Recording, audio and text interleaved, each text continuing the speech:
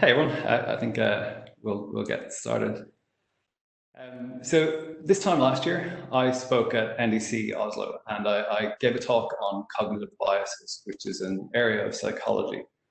And during the talk, uh, I use an example of an air crash to highlight something called fixation bias, where you get so focused on something that you forget everything else. And I got some good feedback for the talk, which is great.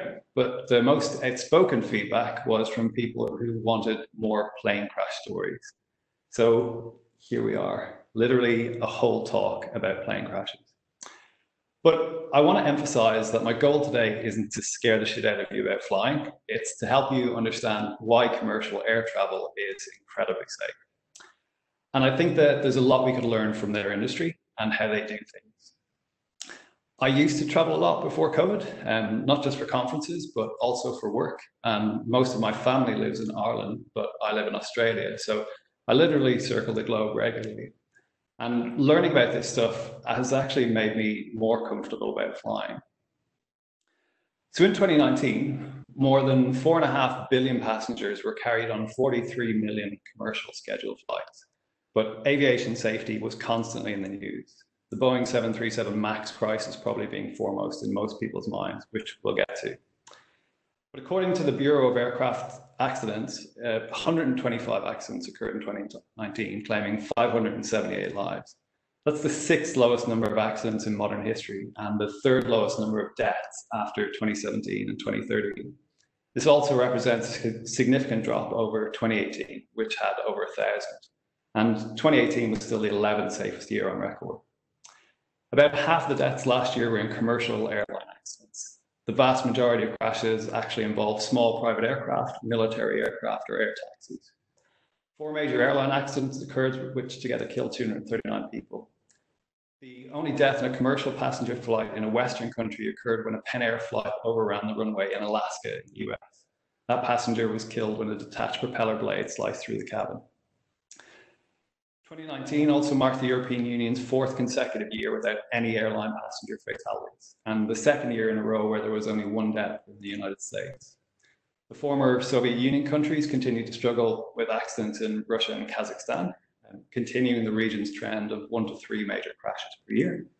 Um, in fact, the former USSR and Africa together accounted for the vast majority of airline deaths last year, while Southeast Asia, um, the third kind of problem area for aviation safety, avoided any major accidents. So I want to start with the crash that I used as an example last year. And for those of you who haven't heard it, and for those of you that have, uh, I have a video this time. And so we'll jump in. United Airlines Flight 173, pictured here, um, was a cross-country flight from New York to Portland with a stopover in Denver. On the 28th of December 1978, the plane operating the flight was a 1960s era McDonnell Douglas DC 8, a four engine narrow body jet capable of carrying more than 250 passengers. For the evening leg, the Denver to Portland leg, 179 passengers and 10 crew boarded the plane. The pilot in command was Malvern McBroom, one of United's most experienced captains, along with a, a much less experienced first officer and a flight engineer, Forrest Frosty Mendenhall. The flight proceeded normally until a final approach into Portland, just after 5 p.m. local time. Coming in from the southeast, the crew ran through the approach checklist, which included lowering the landing gear. But there was a problem. The cylinder housing the actuator um, for the hydraulic piston that retracts the right gear assembly was actually severely corroded. When the crew lowered the gear, the corroded actuator broke away from the piston rod, allowing the gear to drop suddenly into place with a loud bang that shook the whole plane. In the cockpit, the light that should show that the, light, the right gear was down and locked failed to illuminate. This was because the force of the free-falling landing gear had actually cut the circuit to the indicator light, and the landing gear was in fact down and locked. But the crew had no way of knowing that. So the captain advised air traffic control that flight 173 had a problem with its landing gear and needed to hold until it was resolved. The controller directed the DC-8 into a holding pattern, basically flying in a circle southeast of the city to let the pilots figure it out. To confirm if the gear was down, the flight engineer went back to the cabin with a flashlight to check for a small rod that would pop up on the top of the wing when the gear was down and locked. Looking out through what was probably a startled passenger's window, he thought he saw the rod, but wasn't totally sure. This only reinforced Captain McBroom's concern that the, the right landing gear wasn't locked and might collapse on landing. They ran more checks, but they were inconclusive. About 30 minutes into the holding pattern, he called up the lead flight attendant to brief her on the situation. He told her that they would be making an emergency landing and that the passenger cabin needed. At 5.47, the first officer asked flight engineer Mendel, how much fuel have we got left? Mendenhall reported 5,000 pounds, which was barely anything for an airplane. And that should have been a clear signal that they needed to stop holding and get the plane on the ground. Unfortunately, the captain didn't seem to take the hint, and he said, I figure another 15 minutes. Apparently, still trying to look at for that one perfect test that would tell him with absolute certainty whether the gear was locked. The flight engineer was clearly not happy with this and said, It's not enough. It's 15 minutes is going to run us really low on fuel here. Basically, doing his best to tell McBroom that they were running out of fuel without actually telling him that they were running out of fuel. At 5.54 p.m., nearly coming up to an hour um, since they started the loop, um, Captain McBroom sent flight engineer Mendenhall back to the cabin to check whether the passengers and crew were ready for the emergency landing. This was right about the time that they should have left the holding pattern and resumed their approach to the airport. But seemingly kind of oblivious to the fuel situation, Captain McBroom turned back to the southwest again and started another loop. This would have them still in the air well past McBroom's own estimate of a 6.05 arrival. At 6.06 p.m., with the plane still heading away from the airport, the lead flight attendant finished preparing the cabin and reported to the crew. Captain McBroom then finally acknowledged that they were ready to land. At that exact moment, the number four engine started to roll back as its fuel tank ran dry. The first officer said, We're going to lose an engine. Captain McBroom asked why, apparently caught by surprise. Fuel, said the first officer in what I imagine was quite a sarcastic tone. The pilots rushed to open the crossfeed valves, which would allow pumps to transfer fuel from tanks that still had some fuel into those that did not. But this would prove pretty useless as all of the fuel tanks were running dry. The number four engine flamed out, followed moments later by number three. Flight 173 turned onto the final stretch towards the runway. 19 kilometers short of the runway, engines number one and two also ran out of fuel and flamed out. The crew briefly thought about landing at a small municipal airport or even on a highway, but it was quickly clear that even those were too far away. With less than two minutes before the plane would hit the ground, the crew had to find some place to crash land in the middle of a heavily forested suburb. They thought they spotted a dark area up ahead that might be an open field and aimed towards it as best they could. Fortunately, what they were looking at wasn't a field. It was actually a section of a neighborhood where several houses just happened to not have any lights on. The DC 8 just barely avoided a multi story apartment tower before coming down in the forest. The plane plowed through the trees before the left wing struck a house, ripping the wing off and leveling the building. The rest of the plane slid across the street, bringing down power lines before striking another house and demolishing it. The cockpit and first class cabin disintegrated, while the rest of the fuselage came to a halt across three back gardens. At the front of the plane, the lead flight attendant was dead, along with the flight engineer and eight passengers. But Captain McBroom and the first officer had miraculously survived, along with the 171 passengers who were already now making their way out of the intact fuselage into the neighborhood. Incredibly, despite the fact that the plane had totally destroyed two homes, both were unoccupied and no one on the ground was hurt. By aiming for a dark space that he thought was a park, McBroom had actually steered the plane towards the one part of the neighborhood where no one was home to turn on the lights. Once the dust cleared on all this, though, the industry was faced with a very hard question. How had an experienced crew flying a perfectly serviceable airplane run out of fuel and crash, killing 10 people? The answer to this would change aviation forever.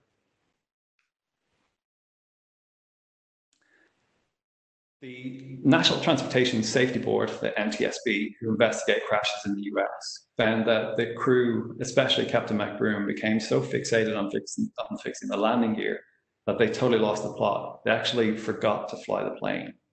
McBroom's tunnel vision caused him to lose his sense of the passage of time in relation to the fuel on board, and even hints from the co-pilot that they were running low were automatically tuned out. The first officer and flight engineer failed to assert themselves and instead kept waiting for McBroom to, to look up and see the writing on the wall. This showed that their respect for McBroom's authority was getting in the way of safe flying, especially for Mendenhall, who was keenly aware of the situation but still did whatever McBroom told him to do, even when it didn't make sense.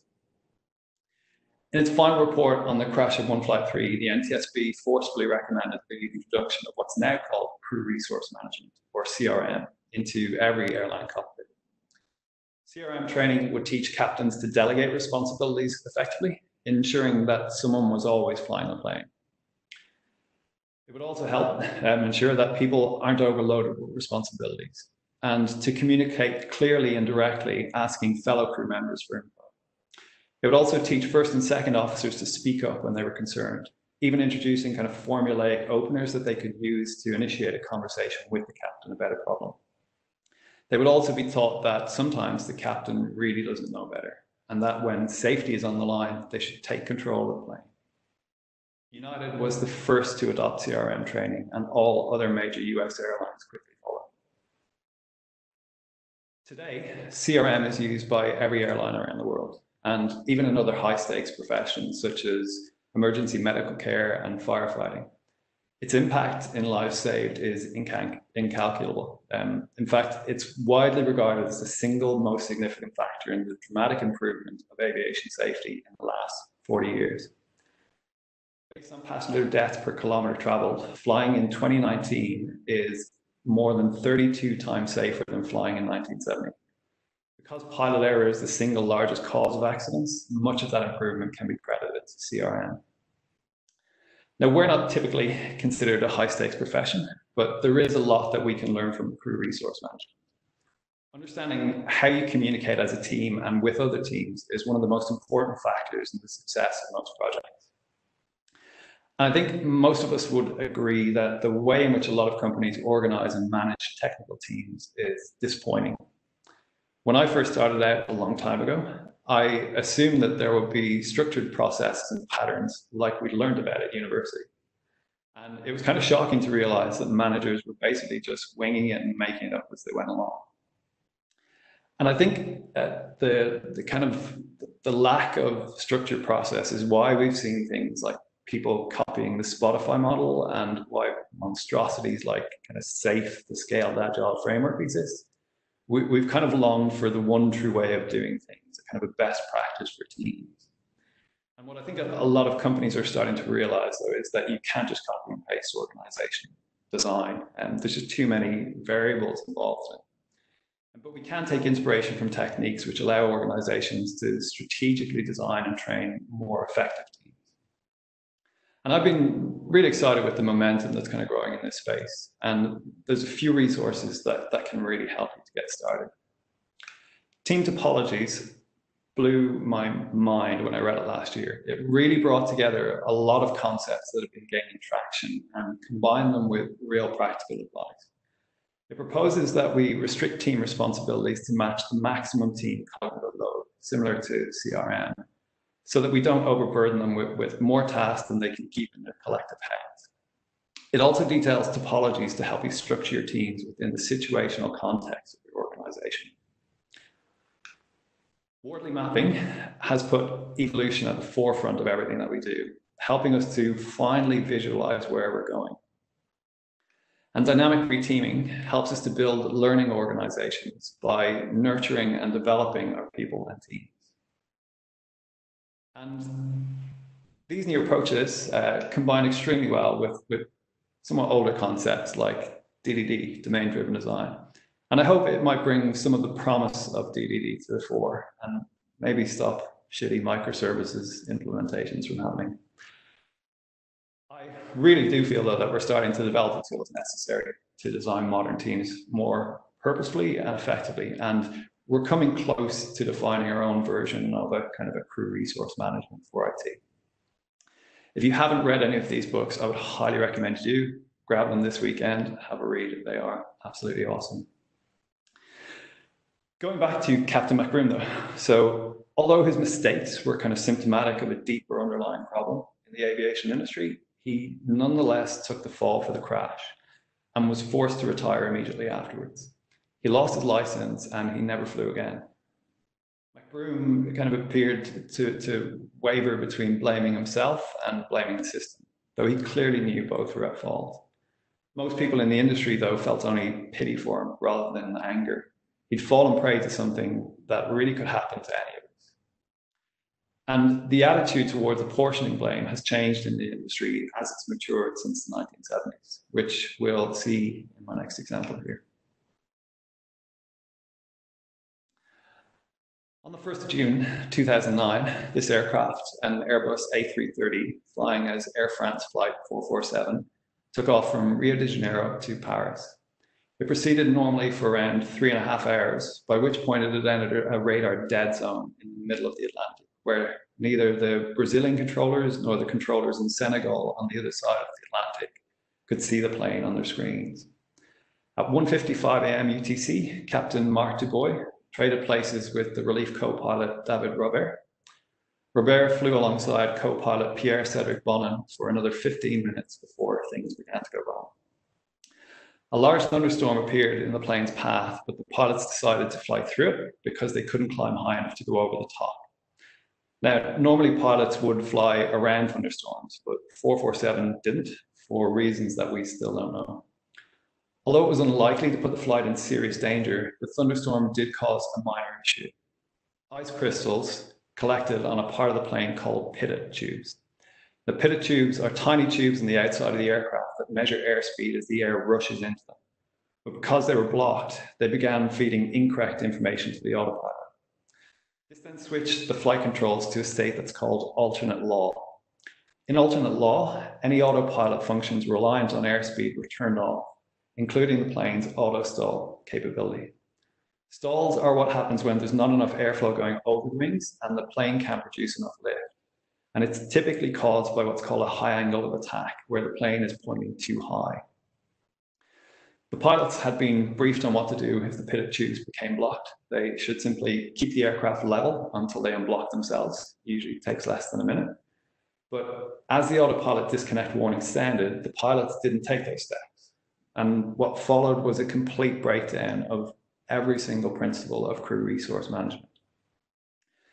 First Officer Bonin announced that he had control, but instead of holding the plane steady, he panicked and pulled the nose up, sending the plane into a climb of over 7,000 feet per minute. Now, a variety of factors might have contributed to, to this decision. The pilots were really startled by the sudden autopilot disconnect, and they dealt with it poorly. They had little to no training of flying the plane manually at high altitudes, and they'd lost trust in their airspeed readings even after they returned to normal. After climbing over 2,000 feet, the plane's airspeed dropped precipitously and the stall warning blared in the cockpit. First Officer Robert tried to tell Bonin that they needed to go down, and Bonin agreed that they needed to descend, but nevertheless continued to pull back on the side stick, raising the nose now to 16 degrees. One minute after the controls switched to alternate law, the aircraft stalled and began to fall from the sky The plane fell almost straight down with a nose high attitude now of over 40 degrees and the engine at maximum thrust. The corrective action for, for them, this should have been obvious to the pilots. They should point the nose down and gain speed and recover from the stall. But still, neither first officer seemed to have any idea what was happening, and they were overwhelmed by the sudden emergency. Bonin in particular reverted to the most kind of primal instinct that if the plane is falling, you point the nose up to go up. Robert, meanwhile, didn't know what Bonin was doing, and Bonin never told him. To make matters worse, the, the pilots likely believed that they actually couldn't stall the plane. And had the controls been a normal law, that would have been right. But in alternate law, it couldn't prevent a stall. Captain Dubois returned to find the cockpit in chaos. He asked what was happening, and Robert responded, We're, We've totally lost control of the plane. Um, we don't understand at all. We've tried everything. The plane was now falling at about 10,000 feet per minute from an altitude of 35,000 feet. The nose was pointed so high that the computer now considered airspeed measurements to be invalid, and the stall warning stopped. This possibly kind of convinced Bonin that by pulling back in the control column, he was improving the situation. As the pilots discussed what to do about the situation, though, nobody mentioned the fact that they were stalling. Then finally, as the plane dropped through 10,000 feet, Robert said, climb, climb, climb. And Bonin responded by saying, but I've had the stick back the whole time. Finally, the crew understood why the plane was falling from the sky. First Officer Robert immediately took over the controls without telling Bonin and pointed the nose down to try to gain speed but they were rapidly running out of altitude. And within 30 seconds, Bonin had panicked again and retook control without um, informing Robert and pointed the nose up once more. With Bonin and Robert making opposite control inputs, the plane actually averaged the two and continued to fall in a roughly kind of horizontal. As the plane hurled towards the ocean, the last words of the pilots were captured on the cockpit voice recorder. Um, Robert exclaimed, damn it, we're going to crash. This can't be happening. Bonin asked, but what's happening? Dubois answered, 10 degrees of pitch. A split second later, Flight 447 slammed tail first into the Atlantic Ocean, obliterating the aircraft and killing all 228 passengers and crew.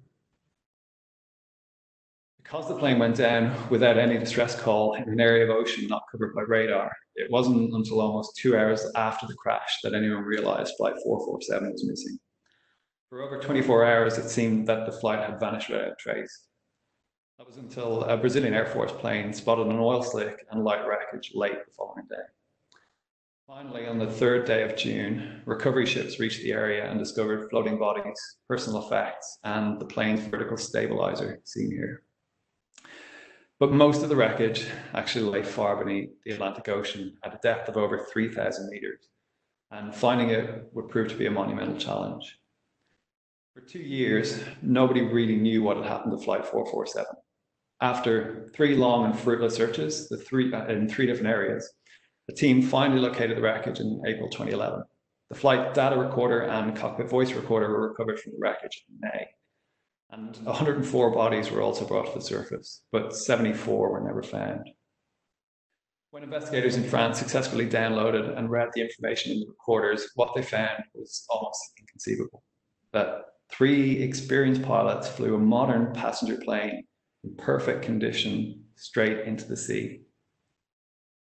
And it would be easy to blame Bonin, and some do, but Flight 447 didn't crash simply because he pulled back in the control stick but rather because of a convergence of small failures that had real deep psychological implications for the pilots.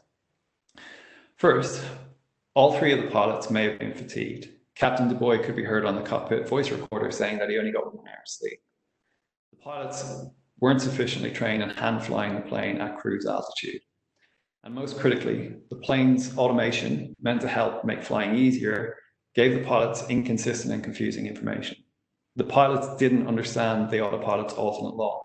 And Bonin pulling back too far on the control stick actually caused the stall warning to stop due to what the computer perceived as inaccurate data.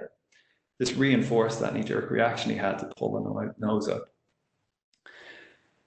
Changes have been made to, to reduce the likelihood that such an accident will occur again.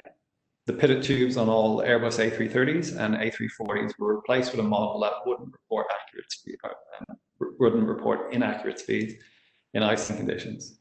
This was before anyone even knew about the role that that, that malfunction had actually played in the crash of Flight 447.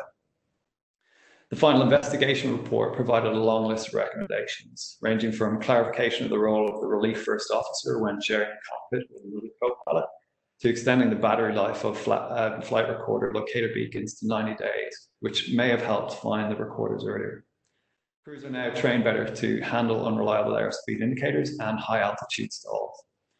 Pilots now, when faced with the same situation, will remember the mistakes of crew flight 447. So what I'd really like to highlight here that we can learn from is that the goal of the investigation wasn't to apportion blame. It was to discover what went wrong and how safety could be improved to ensure it didn't happen again. While Bonin was the, the prominent actor in the story, he was actually a relatively good pilot, put in a surprising situation that he hadn't had training for. First Officer Bonin didn't go to work that morning, intending to crash a plane and kill himself and 226 other people. We're starting to see this kind of thinking in our industry too. Google's SRE team have a great write-up in their book on blameless postmortems and the inspiration that they took from the avi aviation industry. For them, a blamelessly written postmortem assumes that everyone involved in an incident had good intentions and did the right thing with the information they had. If a culture of finger pointing and shaming individuals or teams for doing the wrong thing prevails, people will not bring the issues to light for fear of punishment. The recommendations made after the crash of Flight 447 highlight another area of interest. The automation was a contributing factor in the crash, and the changes made included more training for pilots to be able to handle situations where automation failed. Automation is a huge factor in the increase of airline safety, and it's the same for us. If you've read Accelerate or their State of DevOps report, you'll know the huge advantage automation is giving high performing teams. But it's important that people, uh, the people using your platforms understand the failure points of the automation and how to handle those situations. Team topologies that I mentioned earlier also has some really good insights into how to structure platform teams uh, to support this when you're not a you know Google or kind of Netflix size organization. One of the other things that I was super stoked to see in the most recent Accelerate DevOps report was the inclusion of psychological safety as a factor that affects high performing teams. In the airline industry, this is, uh, well, this kind of falls under what's known as human factors. Human factors is the application of scientific knowledge, mostly from areas kind of like uh, psychology, anthropology, physiology, and, and medicine.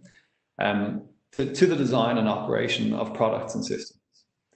The purpose of it is to, to attempt to, re, to reduce the likelihood of negative outcomes by, by really understanding how people and groups of people function. This layperson's introduction to human factors training, published by the Australian Transport Safety Bureau, is a great short history of the field and includes great references to jump off uh, into details of the subject if you want to follow through for time. Good. Okay. Um, so understanding how people think and react to things is obviously very, very useful. But to understand why people act the way they do, you need to understand the nature of the system that they operate in. You really need to understand the culture. On the morning of the 29th of October, 2018, Lion Air Flight 610, operated by a Boeing 737 MAX 8, pictured here, um, pushed back from the gate at Soekarno Hatta International Airport in Jakarta. Captain Bhavye Suneja was in command of the aircraft along with First Officer Harvino. Both pilots had more than 5,000 hours of flight experience on the Boeing 737 aircraft. At 6.20 a.m. local time, Flight 610 began its takeoff roll. Even before the plane had left the runway, they received the first signal that something was wrong. The control column started shaking loudly, warning that the plane was in danger of stalling and could crash. But the captain continued the takeoff procedure and started to climb. Two critical sensors registered different readings between the pilot and the first officer's instruments, indicating two different values for the plane's airspeed and altitude, confusing both pilots. Two minutes into the flight, while still attempting to climb, the plane suddenly dropped over 700 feet, furthering the confusion inside the cockpit. The aircraft's automation had forced the plane's nose down.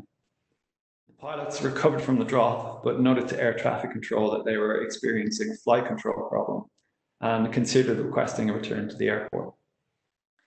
As they continued their climb to safer altitude over the next 10 minutes, this pattern repeated with the plane's automated automatic systems kind of um, pointing the nose down and Captain Suneja correcting the input using the plane's electric trim buttons. In the space of one minute, the captain had to correct the altitude, the attitude of the plane more than five times. This created a kind of a tug of war between the plane and, and the pilots, and it, it seesawed the aircraft more than two dozen times. Fighting against a system he didn't understand, Captain Suneja repeatedly asked the first officer for checklists to handle unreliable airspeeds.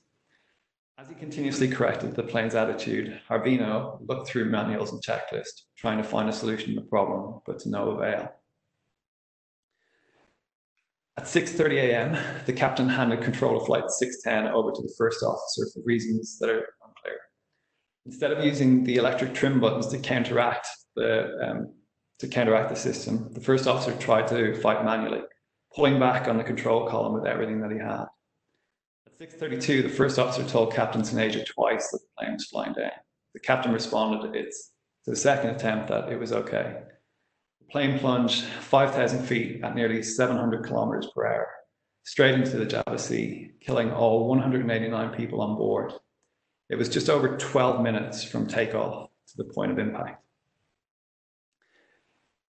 Indonesia's National Search and Rescue Agency immediately launched an operation mobilizing thousands of people to recover the aircraft and the bodies of the passengers and crew. But even though the crash site was in a shallow part of the ocean, the violence of the impact made recovery difficult. The plane's flight data recorder was recovered on the 1st of November, but the cockpit voice recorder was not found until January the following year. It had been buried under eight meters of sand. On the 23rd of November, investigators concluded the victim identification process. Out of 189 people on board, 125 people were identified, with 64 bodies still unaccounted for. When the MAX 8 revision of the enormously popular 737 series was imagined, Boeing was facing a competitive challenge from their only rival, Airbus. The new Airbus A320neo used new, larger engines that reduce fuel consumption and promised significant savings in operating costs. Originally, it was thought it was thought impossible to put larger engines under the wings of the 737, which are actually lower than the wings of the A320. But Faced with a competitor pulling away and the cost of designing a new airframe to compete being prohibitively expensive, Boeing found a way. By moving the engines forward enough, the new larger engines could be accommodated. The resulting plane was so nearly identical to existing 737s that the pilots on the current models could fly it without requiring expensive retraining, just like the A320neo. But by moving the engines up and forward on the wing, Boeing had changed the dynamics of flight increasing the tendency for the plane to climb too steeply and induce a stall. Since the value proposition to airlines mandated that no new training, an automated solution was in order.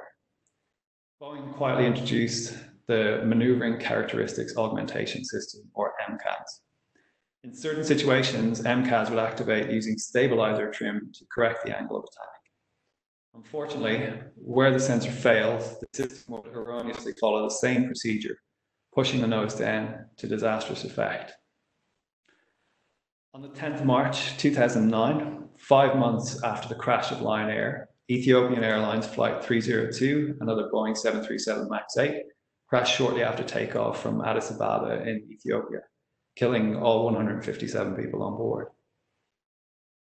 The final report for the crash investigation of Ethiopian Airlines has not been released as yet, but from an interim report, the MCAS system was implicated as the cause of the crash. Shortly thereafter, the entire global fleet of 737 MAX aircraft was grounded pending investigation, where they remain today. For Lion Air Flight 610, the final report was damning. First, it found the aircraft should have been grounded before departing on the fatal flight because of an earlier cockpit issue. One day before the crash, another flight crew on the very same aircraft experienced the same system malfun malfunction on a flight from Denpasar to Jakarta.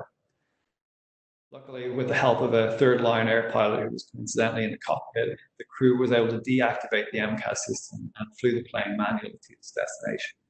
No entry was made in the maintenance log to warn later flights of the issue. So the pilots on board 610 died, not even knowing that there had been any problems in the previous flight. Further, the report found that the first officer who had performed poorly in training struggled to run through a list of procedures that he should have memorized. He was flying the plane just before it entered into the fatal dive, but the report said that the captain had not briefed him properly when he handed over the controls as they struggled to keep the plane in the air. So there's there's lots of what ifs here. Um, if the crew of the previous day's flight had given a more detailed description of the problems, the aircraft might never have taken off. And if the captain who successfully kept the plane in the air hadn't or hadn't handed over to his less capable first officer, disaster might have been avoided there too. And it, it certainly raises questions about the safety culture in Lion Air. But in the report, most of the blame was centered on Boeing and the US Federal Aviation Administration, the FAA. It pinpointed that the design and certification of the 737 MAX 8 as the primary problems. Investigators listed the design of the MCAS system itself as a contributing factor because it relied on information from a single external sensor. I quote, making it vulnerable to erroneous input from that sensor. They found that Boeing was able to design and test its own system without proper oversight or thorough safety assessment from the FAA. And Boeing engineers never expected the MCAS system to fail continuously and repeatedly, and failed to even consider that as a possibility. In designing the system, Boeing concluded that a repeated failure of the MCAS was no more problematic than a one-time failure. Because they assumed that, that the pilots would simply apply the opposite trim to, to counteract the MCAS.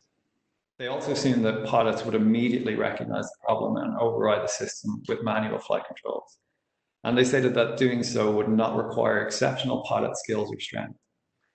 However, near the end of the, the Lion Air flight, the first officer was pulling back on the control column nearly 50 kilogram force, but he was unable to keep the plane from diving into the ground. Flight crews also lack key information about the MCAS system since none was included in the training for the, the aircraft flight line. When Boeing began marketing the 737 MAX 8, it was a brilliant success. They overtook Airbus in the segment with the 737 MAX orders rising 300% in 2012, while A320 Neo's or, Neo orders dropped 50%.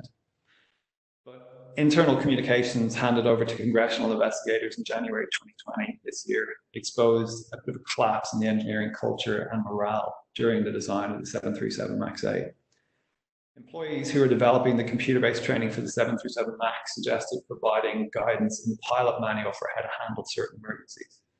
They also raised concern that the skills assumed were not very intuitive with younger pilots or those who may have become too reliant on automation. They were told that while that's probably true, this is the box we've been painted into, and it's what we're being pressured to do. In short, Boeing's culture, driven by market forces and competition, had forgone safety. In the words of Stan Sorcher, a former Boeing engineer, Priorities had shifted over the past two decades, with profits mattering more than quality. Now, culture um, is a bit of an overused and abused phrase in business. A lot of times when we hear organizations talking about their culture, they're, they're usually talking about things like how they have pizza and beers on a Friday, or they've got an Xbox in the lunchroom. But that's, that's not really what culture is. Culture is the way that a company does things, and it's what's really, really important. For IT organizations, I like to use a model to describe their culture based around three factors financial, operational, and quality. So, like any good model, um, this is probably wrong, but it's useful. So, let me explain the terms. Financial is the money side of the organization. If you're external facing, that's your sales team who are looking to keep competitive in the market, which is always aiming to drive down costs. If you're an internal facing team, it's your budget and the drive to cut costs or to kind of do more or less. Operational then is the delivery side or project management focus, where the drive is to keep the timelines and contractual obligations. The last side is what I call quality, and this is the drive for engineering excellence, where as an organization, you want to build really high quality now, all of these drives exist within every IT org to, to varying degrees, but you can tell a lot by, by, um, by what the driving force is. One of the easiest ways to identify it is, is by looking at who the leaders of the organization are and what their background is. Organizations tend to promote from the area that's most important to them. So if the CEO came from sales, for example, then that's likely their main drive. The more that one drive takes over, though, the more they push the others down to varying degrees. High sales focused organizations have a tendency to, to reduce the quality side unless there's a significant reason to keep that investment for competitive purposes. The same can happen with operations, but those companies don't tend to last long because they tend not to really be able to get anything done and customers kind of flee from them. Steve Jobs gave an interview a long time ago before he died, obviously. Um, that's available on YouTube, and it's about why Xerox failed. Explains this concept really well, and he talks about how the shift from product people being leaders in Xerox to sales people being leaders um, brought about the end of what was then one of the most innovative companies in the early IT industry. It's well worth a watch, and I'll, I'll include a link in Slack after this. The trick to making this work that I've found is, is ensuring that your leadership has representation from all three sides and that they have equal power to affect change. And with all of this, it's a constant battle. Culture is one of those things that's hard to construct, but very, very easy to destroy. For Boeing, their change in, cult, uh, change culture had disastrous results, and it remains to be seen how they'll come out of it after this crisis, especially with COVID 19 on top. But they're taking steps. Um, Boeing CEO Dennis Muilenburg was fired in December 2019 as Boeing's board lost confidence in his ability to handle the crisis.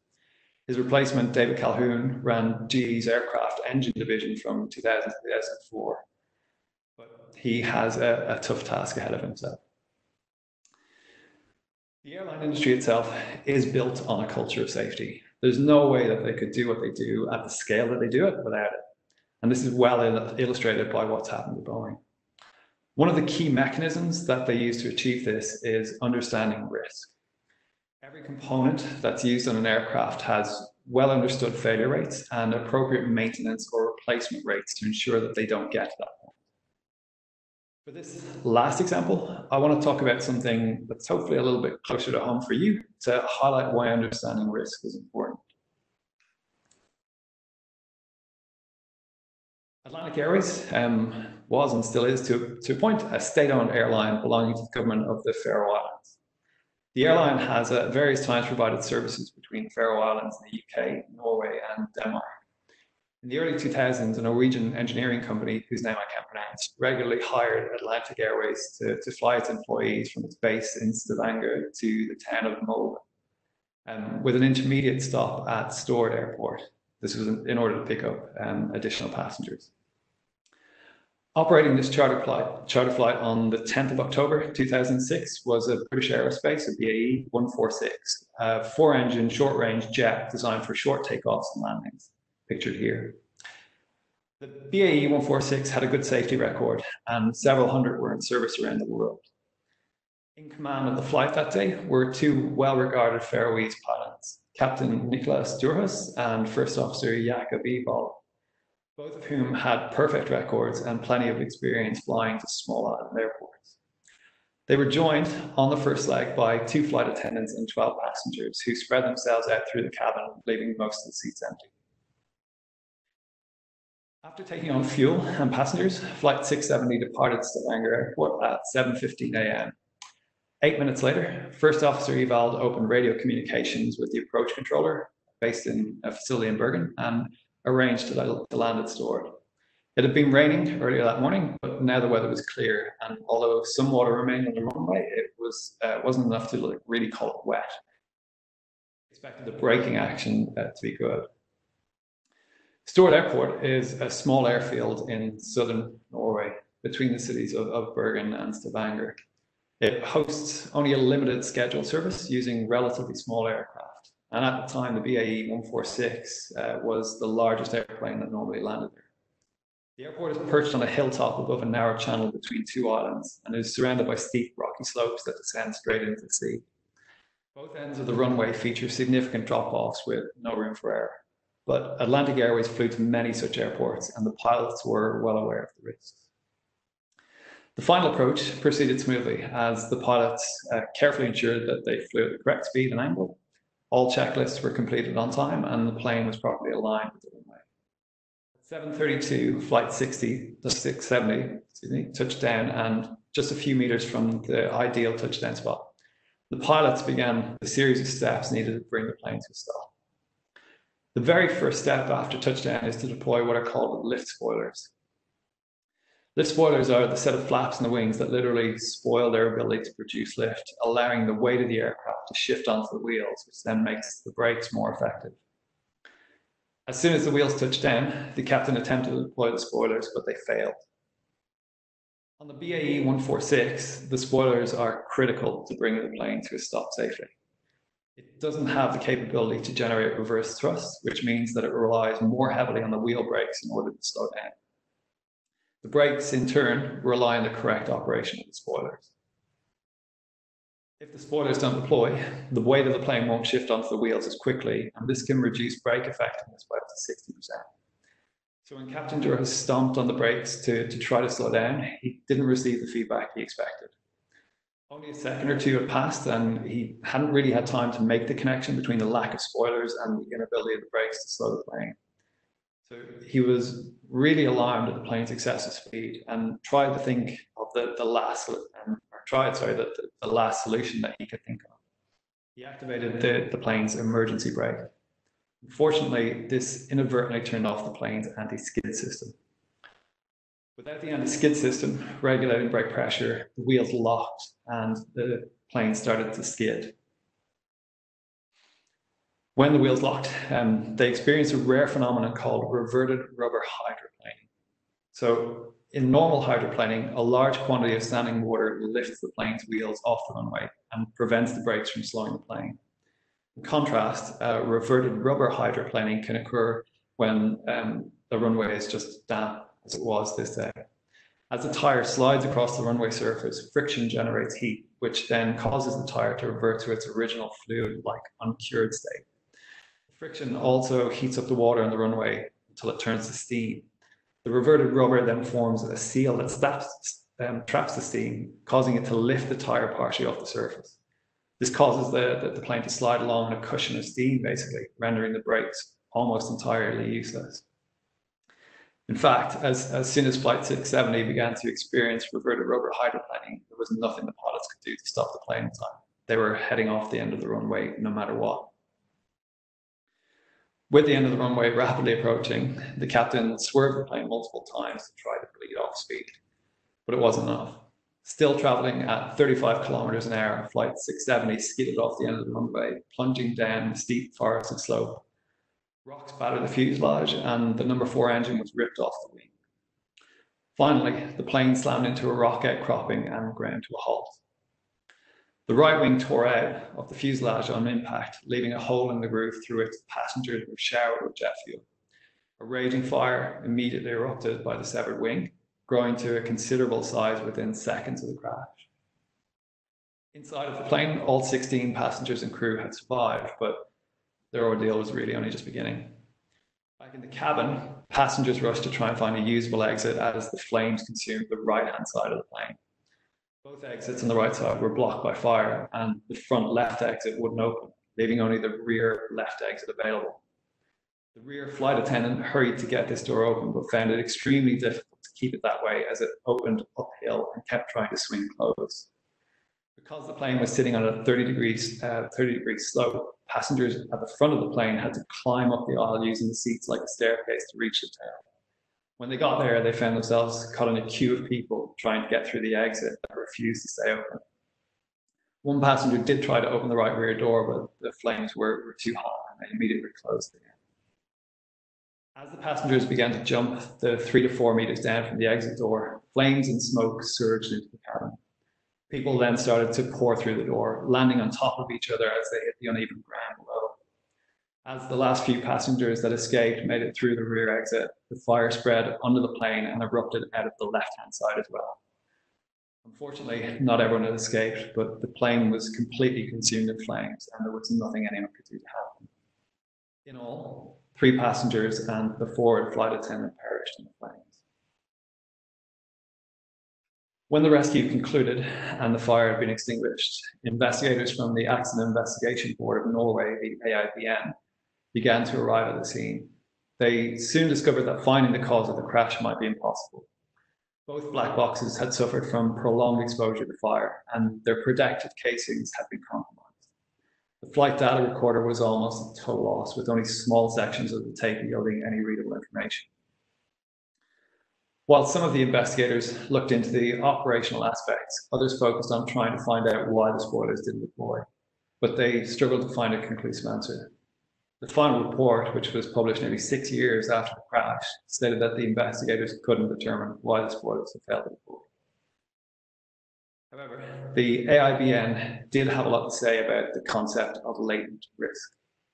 In analysing the crash of Flight 670, it became apparent that landing a BAE 146 at Stord was relatively risky and that this was actually known to local authorities. Earlier in 2006, Stord Airport conducted a study which found that the risk of an accident for a BAE 146 landing at Stord was approximately 2.24 by 10 to the minus 7, or about 1 in 4.5 million. It sounds like a lot, but it's more than twice the International Civil Aviation Organization's suggested maximum of 1 in 10 million.